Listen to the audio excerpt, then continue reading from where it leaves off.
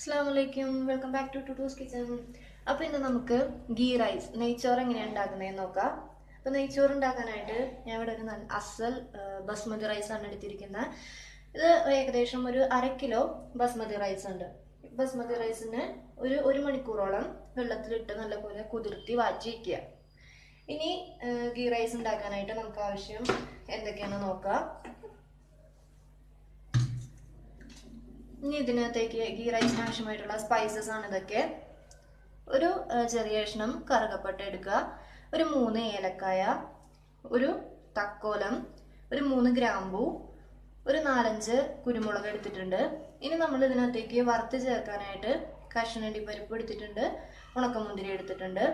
കഷ്ണണ്ടി പരിപ്പൊക്കെ നമ്മുടെ ടേസ്റ്റിനനുസരിച്ചിട്ട് നമുക്ക് ആഡ് ചെയ്യാം. അതിന് പ്രത്യേകിച്ച് അളവൊന്നുമില്ല. അതേപോലെ ഇവിടെ ഒരു അര ടീസ്പൂൺ പെരുംജീരകം എടുത്തിട്ടുണ്ട്. ഒരു കാൽ ടീസ്പൂൺ സാജീരകവും എടുത്തിട്ടുണ്ട്. ഇതാണ് സാജീരകം പെരുംജീരകം. ഇനി നമ്മൾ അടുത്തതായിട്ട് ഇതിനകത്തേക്ക് ഒന്നില്ലെങ്കിൽ ഡാൽഡ യൂസ് ചെയ്യുക അല്ലെങ്കിൽ വെളിച്ചെണ്ണ യൂസ് ചെയ്യുക. കൂടുതലും വെളിച്ചെണ്ണ യൂസ് ചെയ്യുന്നതായിരിക്കും നല്ലത്. പക്ഷെ ഞാനിവിടെ ഡാൽഡയാണ് ഉപയോഗിക്കുന്നത്. ഇനി നമ്മൾ ഇതിനകത്തേക്ക് വേണ്ടത് ആർ കെ ജി എടുത്തിട്ടുണ്ട്. ഈ ആർ കെ ജി ഒക്കെ നമ്മൾ ഉപയോഗിക്കുന്നത് ഗീ റൈസ് റെഡി ആയി കഴിയുമ്പോൾ അതിന്റെ മുകളിൽ അല്പം ഒന്ന് വിതറാനുള്ള രീതിയിൽ മാത്രമാണ് നമ്മൾ ആർ കെ ജി യൂസ് ചെയ്യുന്നത്. അത് ഒരു അര ടീസ്പൂൺ ആർ കെ ജി എടുത്താൽ മതി. അതേപോലെ നമ്മൾ ഡാൾഡ് ഉപയോഗിക്കുമ്പോൾ നമ്മളൊരു രണ്ട് ടീസ്പൂൺ ഡാൾഡ ഇടുക. ഇനി നെയ്യ് കൂടുതൽ വേണം എന്നുള്ളവർ ആ രണ്ട് ടീസ്പൂണിനുള്ളത് ഒരു മൂന്ന് ടീസ്പൂണൊക്കെ ആയിട്ട് മാറ്റുക. ഇനി നമ്മൾ ഇതിനകത്തേക്ക് ആവശ്യമായിട്ടുള്ളത് അല്പം മല്ലിയില ചെറുതായിട്ട് എരിഞ്ഞതെടുക്കുക പിന്നെ സവാള. ഒരു ചെറിയ സവാള. ചെറിയ സവാള നീളത്തിൽ അരിഞ്ഞു വെച്ചിരിക്കുന്നതാണ്. അതേപോലെ ഒരു പച്ചമുളക് എടുത്തിട്ടുണ്ട്. ഇനി എരിവ് കൂടുതൽ വേണം എന്നുള്ളവർക്ക് ഈ ഒരു പച്ചമുളക് എന്നുള്ളത് രണ്ട് മൂന്ന് നാല് വരെയൊക്കെ ആവാം. ഞാനൊരു നാല് വെളുത്തുള്ളി എടുത്തിട്ടുണ്ട്. അതിന് ക്രഷ് ചെയ്തെടുത്തിരിക്കുന്നതാണ്. അതേപോലെ ഒരു ചെറിയ കഷ്ണം ഇഞ്ചി ഉണ്ട് അതും ക്രഷ് ചെയ്ത് വെച്ചിരിക്കുന്നതാണ്. ഇനി നമുക്ക് ഇതിനകത്തേക്ക് ആവശ്യത്തിന് ഉപ്പ് ചേർക്കുക. അതേപോലെ തന്നെ മെയിൻ സംഭവം നമ്മൾ അരി വേവിക്കാനായിട്ട് ഇവിടെ ഞാൻ അര കിലോ അരിയാണ് എടുത്തിരിക്കുന്നത്. അപ്പോൾ അര കിലോ അരിക്ക് നമ്മൾ മുക്കാൽ കപ്പ് വെള്ളം അതായത് മുക്കാൽ ലിറ്റർ വെള്ളം ഉപയോഗിക്കുക. ഇനി ഒരു കിലോ അരിയാണ് നിങ്ങൾ എടു- എടുക്കുന്നതെങ്കിൽ ഒന്നര ലിറ്റർ വെള്ളം ഉപയോഗിക്കുക. അതാണ് അരിയുടെ കണക്ക്. ഇനി നമുക്ക് ഗീ റൈസ് ഉണ്ടാക്കാൻ തുടങ്ങാം. നമ്മൾ ഗീ റൈസ് ഉണ്ടാക്കുമ്പോൾ എപ്പോഴും ഒരു അടി കട്ടിയുള്ള പാത്രം എടുക്കുക. ഒരു ബിരിയാണി പോട്ടൊക്കെ പോലത്തെ പാത്രം എടുക്കുക. ഇനി അത് നല്ലപോലെ ചൂടായി വരുമ്പോൾ അതിനകത്തേക്ക് നമ്മൾ രണ്ട് ടീസ്പൂൺ ഡാൽഡ ചേർത്ത് കൊടുക്കുക. ഇവിടെ ഞാൻ അധികം ഗീ റൈസ് ആണെങ്കിലും അധികം ആ ഒരു നെയ്യ് ഇഷ്ടപ്പെടുന്നില്ല. അപ്പൊ അതുകൊണ്ട് രണ്ട് ടീസ്പൂൺ ആണ് ഉപയോഗിച്ചിരിക്കുന്നത്. ഇനി നിങ്ങൾക്ക് കുറച്ചും കൂടെ നെയ്യിന്റെ അളവ് കൂടണം ഗീ റൈസ് നല്ലപോലെ ഗീ വേണം എന്നുണ്ടെങ്കിൽ ഈ ഡാൽഡ ഇടുമ്പോൾ കുറച്ച് കൂടുതൽ ഇടുക. ഇപ്പൊ രണ്ട് ടീസ്പൂൺ എടുത്ത് ഒരു മൂന്ന് ടീസ്പൂൺ ഒക്കെ ആയിട്ട് ഇടുക. ഇത് നമ്മൾ ഡാൽഡ നല്ലപോലെ ഉരുകി വരുമ്പോൾ നമുക്ക് ഇതിനകത്തേക്ക് സവാള അരിഞ്ഞ് വെച്ചിരിക്കുന്ന സവാള ഇട്ടിട്ട്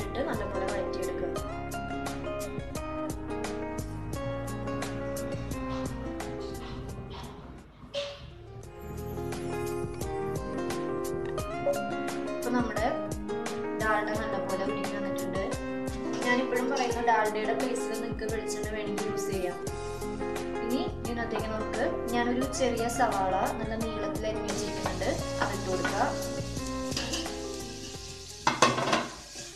നല്ലപോലെ വഴറ്റുക. നമ്മൾ സവാള ഇടാതെയും ഗീ റൈസ് ഉണ്ടാക്കുന്നുണ്ട്. സവാള ഇട്ടിട്ട് നമ്മൾ ഗീ റൈസ് ഉണ്ടാക്കുകയാണെങ്കിൽ ചിലപ്പോൾ അത് പിറ്റേ ദിവസത്തേക്ക് നമുക്ക് ചിലപ്പോൾ യൂസ് ചെയ്യാൻ പറ്റില്ല. കാരണം സവാളയ്ക്ക് ടേസ്റ്റ് വ്യത്യാസം വന്നാൽ ആ ചോറിന്റെ ടേസ്റ്റ് അപ്പാടെ അങ്ങോട്ട് മാറും. അപ്പോൾ സവാള ഇട്ടിട്ടുണ്ടാക്കുകയാണെങ്കിൽ അന്ന് തന്നെ നമ്മൾ യൂസ് ചെയ്ത് തീർക്കാനായിട്ട് നോക്കാം ചിലപ്പോൾ ഫ്രിഡ്ജിലൊക്കെ വെച്ച് കഴിഞ്ഞാൽ കേടാവാതെ നമുക്ക് കിട്ടും. സവാള ഏകദേശം ഒന്ന് വഴങ്ങിയിട്ടുണ്ട് ഇതിനകത്തേക്ക് ഞാൻ ഒരു പച്ചമുളകാണ് എടുത്തിരിക്കുന്നത്. ഒരു പച്ചമുളക് കൊടുത്തു അതേപോലെ ഒരു ചെറിയ കഷ്ണം ഇഞ്ചി ചതച്ചത് ഒരു നാല് വെളുത്തുള്ളി ചതച്ചത്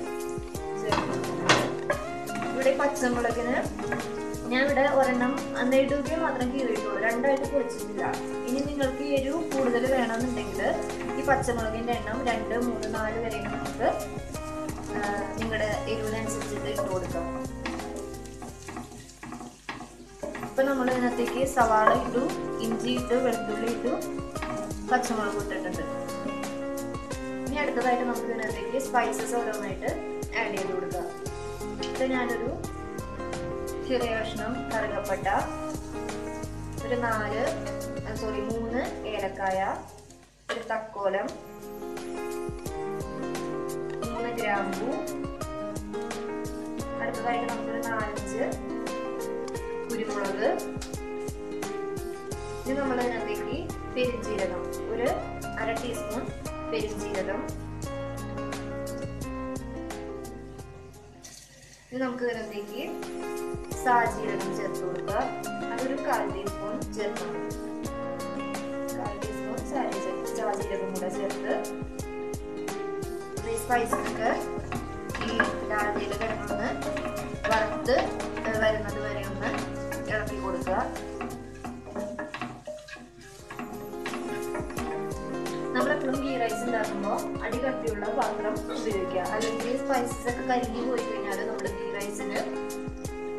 ടേസ്റ്റ് അപ്പാടെ മാറി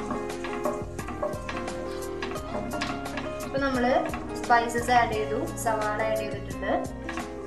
അതേപോലെ പച്ചമുളക് എല്ലാം ആഡ് ചെയ്തു. ആ സ്പൈസസ് ഒക്കെ മുട്ട് വരുന്നതിന്റെ സ്മെല്ല് നല്ലപോലെ വരുന്നുണ്ട്. നമ്മൾ ഗീ റൈസ് ഉണ്ടാക്കുമ്പോൾ വെള്ളം ഒഴിക്കുന്നത് എപ്പോഴും ശ്രദ്ധിക്കുക. ഒരു ഞാൻ ഒന്നുകൂടി പറയാം. ഒരു കിലോ അരിയാണ് എടുക്കുന്നതെങ്കിൽ ഒന്നര ലിറ്റർ വെള്ളം ഒഴിക്കുക. ഞാനിവിടെ അര കിലോ അരി വെച്ചിട്ടാണ് ഉണ്ടാക്കുന്നത്. അപ്പോൾ മുക്കാൽ ലിറ്റർ വെള്ളമാണ് എടുത്തിരിക്കുന്നത്. പിന്നെ ഇവിടെ ബസ്മതി റൈസ് ആണ് ഓരോ അരിക്കും. അതിന്റെതായ വേവ് വ്യത്യാസം ഉണ്ടാകും അപ്പോൾ അതനുസരിച്ചിട്ട് വെള്ളം കൂട്ടുകയോ കുറയ്ക്കുകയോ ചെയ്യാം. അപ്പോൾ നമ്മൾ ഇട്ടുകൊടുത്ത സ്പൈസസ് ഒക്കെ ഏകദേശം ഒന്ന് മുരിഞ്ഞ് വന്നിട്ടുണ്ട്. ഇനി നമുക്ക് ഇതിനകത്തേക്ക് വെള്ളം ചേർത്ത് കൊടുക്കാം.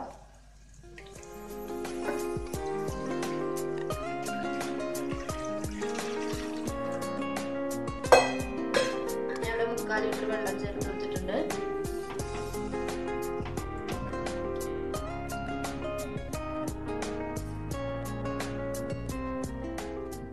നമുക്ക് ഇതിനകത്തേക്ക് ആവശ്യത്തിന് ഉപ്പ് ചേർത്ത് കൊടുക്കാം. എപ്പോഴും ഗീ റൈസ് ഉണ്ടാക്കുമ്പോൾ വെള്ളത്തിൽ അല്പം ഉപ്പ് മുന്തി നിൽക്കുന്ന രീതിയിൽ ഉപ്പ് ചേർത്ത് കൊടുക്കുക. നമ്മൾ ഉപ്പ് ഇട്ട ശേഷം ഒന്ന് ടേസ്റ്റ് ചെയ്ത് നോക്കുക. ഉപ്പ് കറക്റ്റ് ആയിട്ട് വന്നിട്ടുണ്ടോ എന്ന് ടേസ്റ്റ് ചെയ്ത് നോക്കുക. ഉപ്പ് കുറവാണ്. നമ്മൾ വെള്ളത്തിലിടുന്ന ഉപ്പ് കുറവാണെങ്കിൽ ചോറിന് ഉപ്പ് ഉണ്ടാവില്ല അപ്പം അതനുസരിച്ചിട്ട് ഉപ്പ് ചേർത്ത് കൊടുക്കണം ഞാനൊന്ന് ഉപ്പ് ഉണ്ടോ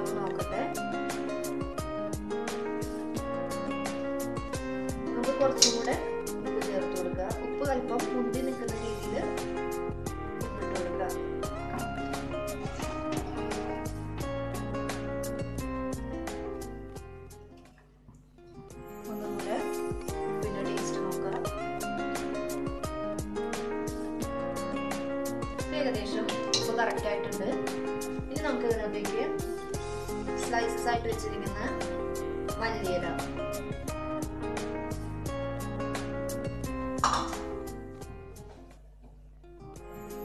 ഇനി ഇതൊന്ന് നല്ലപോലെ തിളച്ചു വരുമ്പോഴാണ് നമ്മൾ അരി ഇട്ട് കൊടുക്കുന്നത്. നമുക്ക് ഇതിനൊന്ന് മൂടി വെക്കാം. മൂടി വെച്ചിട്ടൊന്ന് നല്ലപോലെ തിളച്ച ശേഷം നമുക്ക് അരി ഇട്ട് കൊടുക്കാം.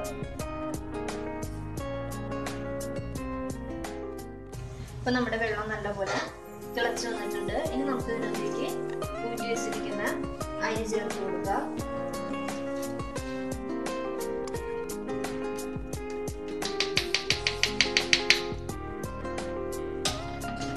അരി ചേർത്തിട്ടൊന്ന് നല്ലപോലെ മിക്സ് ചെയ്ത് കൊടുക്കുക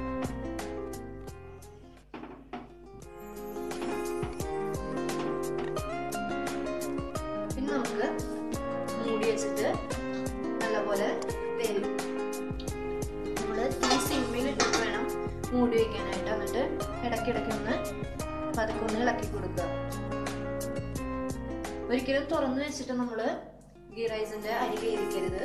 അങ്ങനെ ചെയ്താൽ വെള്ളം മാത്രം വറ്റിപ്പോകും. പക്ഷെ അരി വന്നിട്ടുണ്ടാവില്ല കുക്കാവാനായിട്ട് ഏകദേശം ഒരു പത്തിരുപത് മിനിറ്റ് എടുത്തിട്ടുണ്ട്. ഇത് നമ്മൾ വെള്ളമൊക്കെ വറ്റി മുകളിൽ ഇപ്പോൾ വെള്ളമൊക്കെ ഫുൾ വറ്റിയിട്ടുണ്ട്. ചിലപ്പോൾ അടിയിൽ വെള്ളം ഉണ്ടാവും. അപ്പം അതുകൊണ്ട് ഇനി നമ്മൾ നേരത്തെ യൂസ് ചെയ്ത ആ കയ്യിൽ യൂസ് ചെയ്യാതെ ഒരു ഫോർക്ക് വെച്ചിട്ട് ഒന്ന് മുകളിൽ നിന്ന് നോക്കുക. വെള്ളം ഉണ്ടോ എന്ന് നോക്കുക. ഇതിൽ കുറച്ചും കൂടെ വെള്ളം അടിയിലൊന്ന് വറ്റാനുണ്ട്. ഒന്ന് മുകളിലേക്ക് ഇങ്ങനെ കാട്ടി കൊടുക്കുക. അപ്പോ അടിയിലുള്ള വെള്ളം കൂടെ വറ്റും. ഒരു ഏകദേശം ഒരു രണ്ട് മിനിറ്റിനുള്ളിൽ നമ്മുടെ ഗീ റൈസ് ഇപ്പൊ ഏകദേശം റെഡി ആയിട്ടുണ്ട്. ഒന്നും കൂടെ ഒന്ന് ആ വെള്ളം വറ്റി വന്നാൽ പെർഫെക്റ്റ് ആയിട്ടുണ്ടാവും. അപ്പൊ നമ്മുടെ ടേസ്റ്റി ആയിട്ടുള്ള ഗീ റൈസ് ഇവിടെ റെഡി ആയിട്ടുണ്ട്. ഇനി ഇതിന് മുകളിൽ നേരത്തെ നമ്മൾ വറുത്ത് വെച്ച കാഷ്നിട്ടും മുന്തിരിയൊക്കെ നമ്മൾ സെർവ് ചെയ്യുന്ന ടൈമിൽ ഇട്ടിട്ട് സെർവ് ചെയ്യുക. അപ്പോൾ എല്ലാവരും വീട്ടിൽ ട്രൈ ചെയ്ത് നോക്കുക. സബ്സ്ക്രൈബ് ചെയ്യാനും ലൈക്ക് ചെയ്യാനും മറക്കരുത്. അതേപോലെ ടുട്ടൂസ് കിച്ചന്റെ റെസിപ്പീസ് എല്ലാവരും ഷെയർ ചെയ്യുക. ഇനി നമുക്ക് അടുത്ത റെസിപ്പീസ് ആയിട്ട് ഇനി കാണുന്നവരെ ടേക്ക് കെയർ ആൻഡ് അസ്ലാം വലൈക്കും താങ്ക്സ് ഫോർ വാച്ചിങ്